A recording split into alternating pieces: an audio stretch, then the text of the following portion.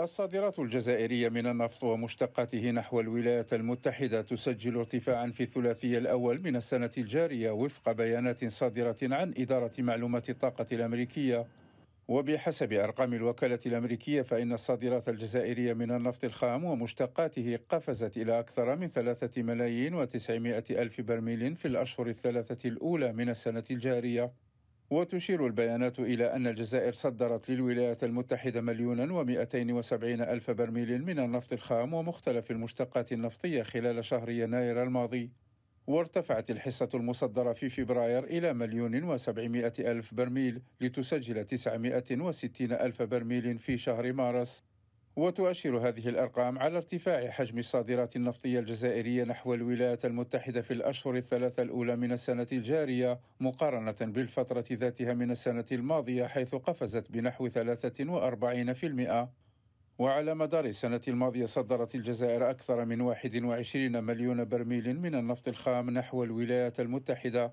وبالرغم من ارتفاعها إلا أنها تبقى دون الأرقام التي تم تسجيلها في 2018 حيث صدرت الجزائر أكثر من 64 مليون برميل من النفط نحو الولايات المتحدة قبل أن تنخفض في 2020 إلى مستويات لم تتجاوز 6 ملايين برميل بسبب جائحة كورونا.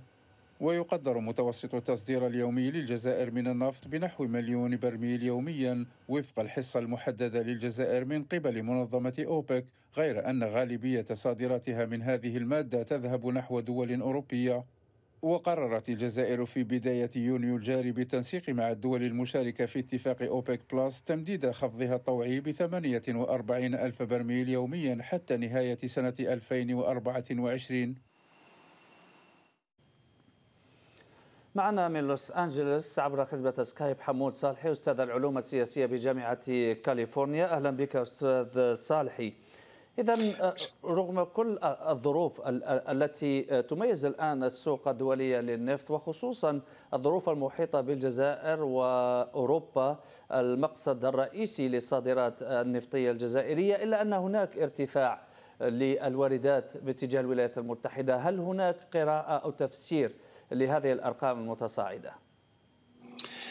اولا آه، العلاقات الاقتصادية الأمريكية كانت دائما آه، في آه، قمة في قمة ممتازة بحيث أن الشراكة الأمريكية تعود إلى 2001 وتعتبر الجزائر علاقاتها مع الولايات المتحدة آه، في هذا المجال بأنها استراتيجية آه، وما شابه الجانب الآخر الذي ربما ينظر إليه ويعد عاملا أساسيا هو التغييرات التي حصلت على الساحة القانونية والاستثمارية في الجزائر حيث بدا واضح للجزائريين آه، آه، اليوم أنه يجب التطرق إلى المشاكل البيروقراطية والإدارية وتغيير قانون الاستثمار خاصة بعد خروج عدد من الشركات من الجزائر بحكم آه، تلك القوانين. فبالتالي هذا عامل مهم. العامل المرتبط بذلك هو الوضع الدولي الحرب في في أوكرانيا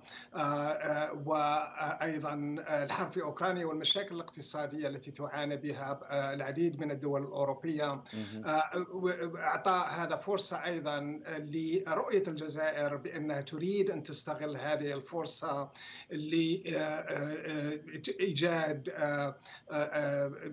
براك لتعطي صوره لنفسها بأنها مركز للاستثمار من جانب وأيضا لزيادة الدخل القومي حتى تساهم في آه، آه، بناء الاقتصاد الوطني نعم. في, في هذه الحالة أنت تحدثت عن وأثرت نقطة قانون الاستثمار في الجزائر هل تعتقد أنه هو العقبة الوحيدة أمام رفع مستوى التبادلات التجارية خصوصا في المحروقات ما بين الولايات المتحدة والجزائر؟ في سببين آخرين آه، حتى القيادة الجزائرية تحدث علي عليهم وهو آه، وهي البيروقراطية والإدارة الجزائرية. هناك ما زالت عقلية آه، لا تساهم في بناء اقتصاد في حل المشاكل. في المشاكل البيروقراطية النظام الجزائري متمركز كل شيء يأتي من الجزائر العاصمة وأيضا الإدارة الإدارة أيضا لها قوانين ما زالت لا تتجانس مع مع تطور القانون الاستثمار. في الوقت سيأخذ وقت لكن ما رأيناه وحتى على لسان رئيس الجمهورية أن مشكلة البيروقراطية والإدارة من أهم العراقيل التي تواجهها الجزائر. هناك أشياء أخرى مرتبطة بالواقع الاقتصادي الجزائري بالثقافة الاستثمارية في الجزائر. كل هذا أيضا مرتبط. القانون بوحده مهم تغيير القانون لكن يجب أن لكن هل تعتقد أن الجزائر استغلت حقيقة هذه الظروف لتعزيز حصتها في السوق في مقابل ربما التزاماتها مع منظمة أوبك بلاس بخفض خفض المبيعات وخفض الإنتاج؟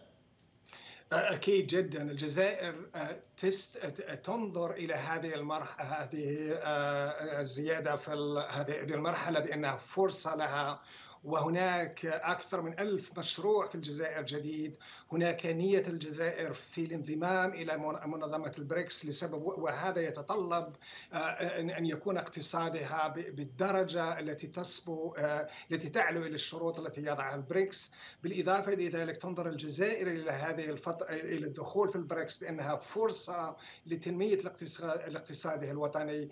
الفلسفة الجديدة التي يراها التي نراها من هذا الطاقم الطاقم هو الاهتمام الأكثر آه، بكثير من ما رأيناه في في السابق بحاجيات المواطن.